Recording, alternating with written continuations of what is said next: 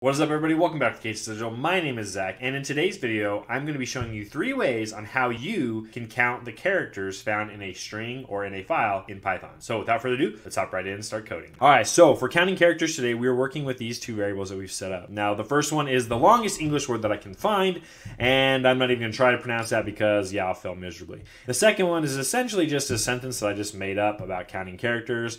Um, and the first method I want to talk about is actually just leveraging what function is out there within the string class. Because technically, to count a you know a character or whether it be from a file or from a string, you actually need to get that you know if it's a file, you need to get into a string format, and that's kind of what I would say would probably be the easiest way um, that you can leverage counting characters um, whether it be from that file or like I mentioned a string. And so to do this, this first method is is just saying let's print this out, and we're going to say the longest English word dot, and then they have a count function. Um, however, this count function takes requires that you to put in like, hey, what do you want to count? So like let's just put in a, the character a. So if I want to count the character a, I just put that in. If you want, you can say with what range, like if you you can you know do indexes like one and you know two or three or whatever. But if you do nothing, it'll just do like through the whole you know through that whole string um, that you've given it. Now, if I do this both for sentence and the variable sentence and the variable longest word, English word, and I run this with how to count characters, you'll see that the first one has two, which is right there, oh, right there, and then right there, and the next one is R, characters has two, and then what?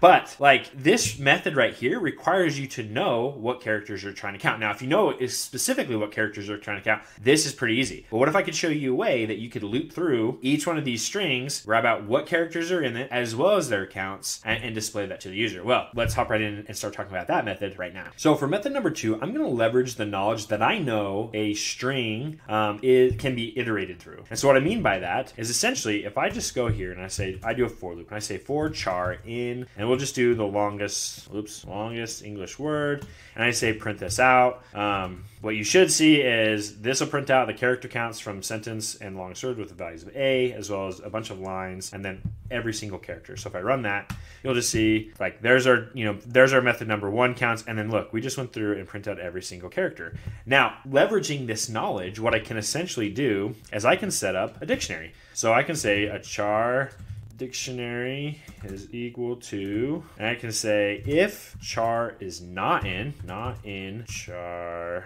dict, then I can just say um, char dict of the, the character is equal to zero. So now what this is doing is essentially I'm just saying, hey, if, it, if that character has not been found in the dictionary that I'm going as I'm going through this string, you know, just mark that reference, like in, basically instantiate that that character, that key has a value of zero. And then what I can just do is go um, inside, we can reference that, that dictionary and I can say with that, that character and just say plus equals, whoops, plus equals one.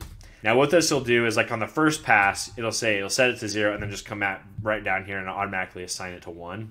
Um, and I'm doing this because I don't want to set it here and then set it to one and then have to handle with any other cases. I'm basically just saying like, look, just set it to zero and then I'll just exit out of that if statement and then just set the value to one. Um, and so now the next time it comes to, if it sees it inside this dictionary, it won't even like look at that and it'll just go here and add, you know, insert the, the count by one. So now if I print this out, I can essentially just print out the, the dictionary and what you should see is Look, every single character that is found within the longest English word string has a character as well as its count. So, like you see, capital P has one, lowercase n is four, and all the way through this. Now, that's you know that's a really easy way that you can go through and count through a string. Now, if we could test this the same the same methodology methodology out by just switching out the longest English word for set that our sentence that, that we have. So, say this is your file that you've just downloaded and you've gotten to a string format, and you do this. If I run this, look, I can go through and I can say, look, there's T's. Look, we have a space, a single space character has shown up 12 times um, within this string. So all those different types of things you'll see, or like using kind of this method number two, kind of like the more of the naive approach. Now I'm going to show you basically in one line um, how you can get this same count in our following method. So stick around for method number three. Okay, so before we jump to number th- method number three, where I'm going to show you basically like one or two lines how you can do exactly what we did here. Um, I added this from a previous video that I did where I talked about essentially how to count, find the most common words. I added this um, function that we use to sort a dictionary based upon its value um, and put it into a list format. So you, when if I run this, you'll see now when I'm printing this out rather than that dictionary, I'm getting in sorted order with the very you know most occurring um, character. I'm getting that first with you know it's a tuple with its character and the count. Now I just want to show you because I want to use this same technique to essentially show you when we go to method number three that we're getting the same results through method number two and method number three.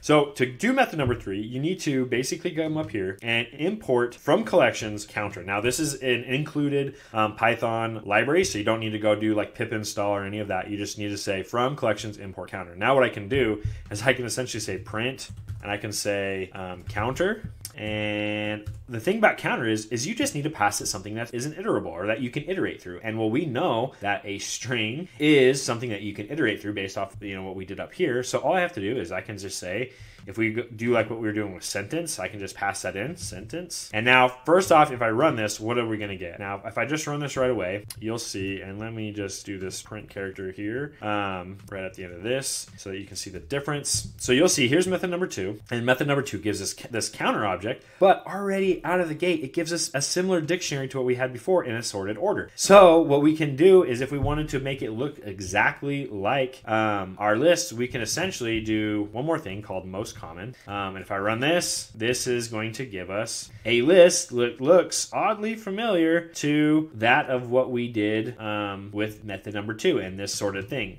or this this sorted you know dictionary. Now these two, I can tell you right off the bat, is are the exact same. The only difference is, is for um, the counter the counter class when it does its most common sort, it sorts things a little di- bit differently. If you wanted them to be the exact same, um, we could just copy this and do say method three. And all I would have to do is just change um, this right here. And there you go. They now are now the exact same that we had for method number two, or excuse me, let me print this out here.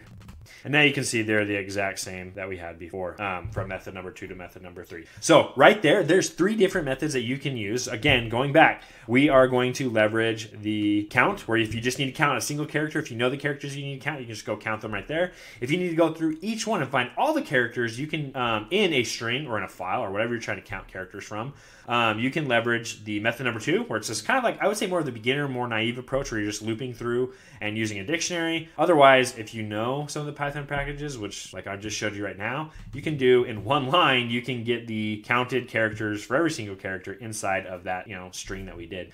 Um, and if you want to learn more, you can check out kind of my my other previous video that I just did, where I learned how you can find the most common words, because that is kind of leverages what we did here.